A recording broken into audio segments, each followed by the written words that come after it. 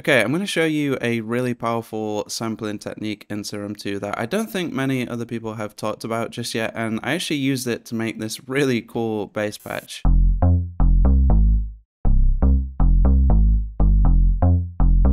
So Serum 2 does have a really nice selection of individual samples you can use in the sample mode. However, it also has a lot of really nice presets for the multi-sample option. And also you can find a lot of these multi-sample collections online and they can be really great. However, sometimes you might be using a multi-sample preset like this, and let's just pitch this down to match our other octave.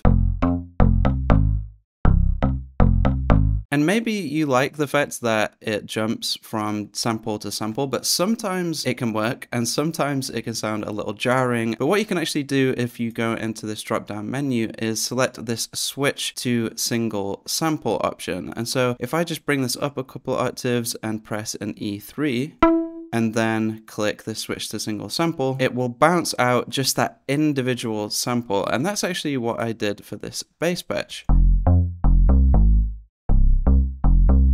And it just means that each hit is going to be a little bit more consistent. Obviously, it's personal preference. Sometimes multi-sampling can sound better. But another thing to bear in mind is that you may also have to tune this sample. Sometimes the individual samples in the multi-sample presets can be a little bit in and out of tune. So just play with that as well. But yeah, I just want to make you guys aware of that because there's essentially a whole library of samples in the multi-samples that you can load individually like this. And I think not many people realize that. So have a play around with it. Hopefully you found this helpful. This bass patch is actually included in my Serum 2 Essentials Volume 1. So feel free to go check that out if you want to support the channel. And yeah, subscribe for more Serum 2 content.